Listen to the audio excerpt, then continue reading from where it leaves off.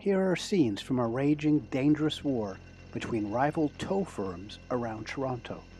The mob reporter here with details on an odd form of organized crime that has had an alarming rise across several cities of southern Ontario that are linked by the heavily traveled 400 series of highways. These are some of the busiest highways in the world, and there are a lot of collisions on them. Tow trucks racing to the scenes of crashes has always been competitive and is often rough and tumble. But in the last few years, things have evolved into criminal towing cartels. This week, police branded them as bona fide organized crime groups who use extreme violence, threats, and intimidation to expand and defend their turf, their assets, and their interests. It's not just to get that initial highway towing job, but for the real money that comes after through bogus repair bills, car rental fees, fake medical claims, physiotherapy, inflated insurance payments.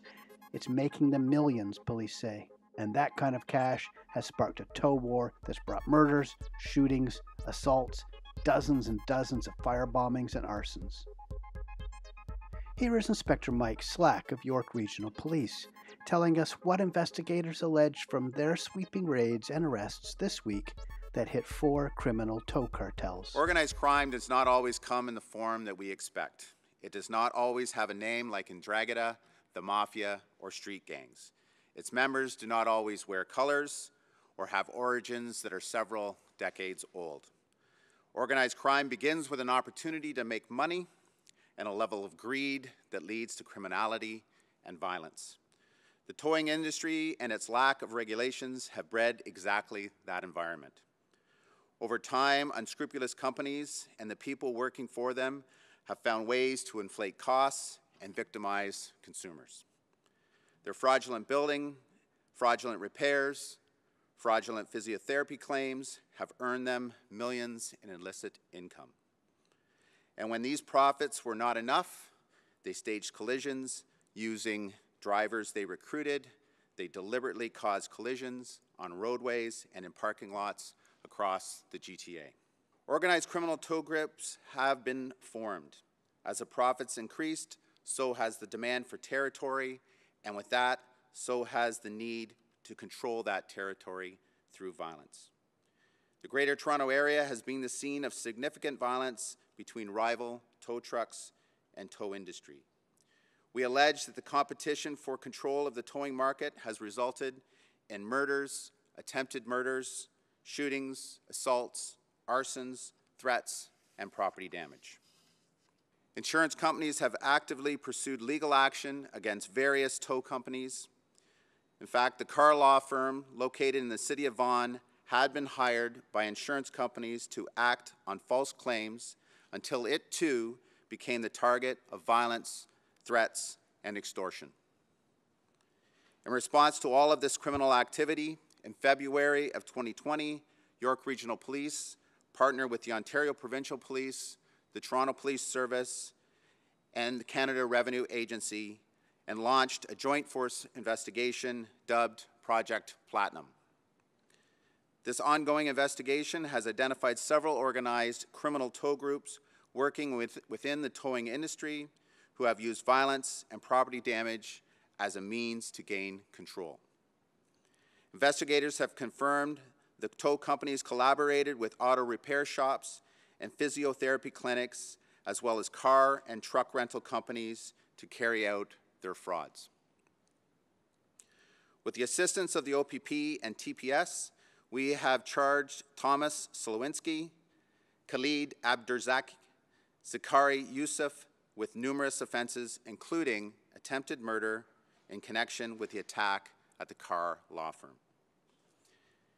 In March of 2020, members of Project Platinum executed the first series of warrants in Brantford and Tillsonburg, where we seized several firearms, including handguns and restricted rifles. A large quantity of drugs was also seized, including cocaine and fentanyl. Arrested at that time was Saloom Jassim, Marina Leachman, and Dwayne Council of Brantford, and Heather Rowbottom of Tillsonburg. Project Platinum members also worked in cooperation with the York Regional Police Homicide Unit, and in March 2020, the Homicide Unit arrested Mohammed El Zahawi and Abda Laziz Ibrahim, both with ties to the tow truck industry, for the murder of Sohail Rafapur. Rafapur, who was also working in the tow uh, industry, was shot and killed outside a residence in Richmond Hill in December of 2018. On Thursday, April 30th, 2020 and May 1st, 2020, more warrants were executed in the city of Brantford and the city of Hamilton. Five suspects were taken into custody and have been charged. Saloom Jassam of Brantford was once again arrested, along with his brother Seth Jassam and Marina Leachman, who have been charged with participating in and instructing offenses for a criminal organization, as well as conspiracy to traffic cocaine, fentanyl, and firearms. Marina Leachman and Thomas Slawinski of Brantford were also charged at that time by the homicide unit with first degree murder for their part in the killing of Sohail Rafapur.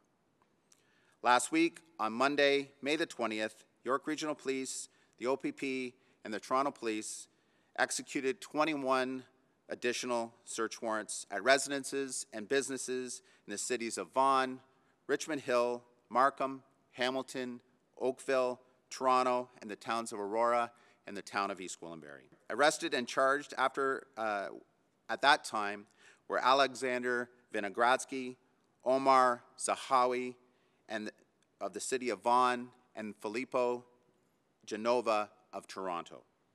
Among other offenses, this criminal organization orchestrated and executed an arson for profit at a local vehicle storage com compound in the city of Vaughan.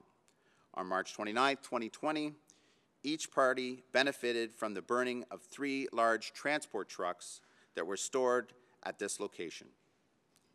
Besides arson, these men have been charged with numerous offenses, including participating in, instructing, committing offenses, and recruiting for a criminal organization. Investigators have also laid mischief and fraud related charges.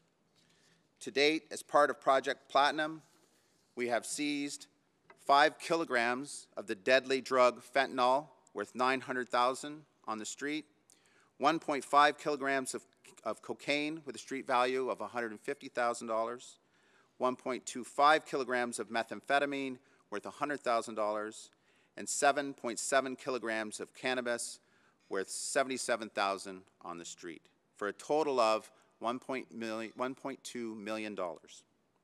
We have also seized over a half million dollars in currency and 40 firearms, including handguns, rifles, shotguns, and a machine gun. During the investigation into these criminal groups, other prohibited devices, such as large capacity drum magazines, brass knuckles, a silencer, and tasers, were seized. To date, 11 tow trucks have been seized as offensive related property, with additional tow trucks being identified for seizure in the future. The warrants on May 20th were very fruitful, providing documentation and computer records that will support the large number of criminal charges to date and the arrests that we will be making Uh, in the coming days, weeks, and months.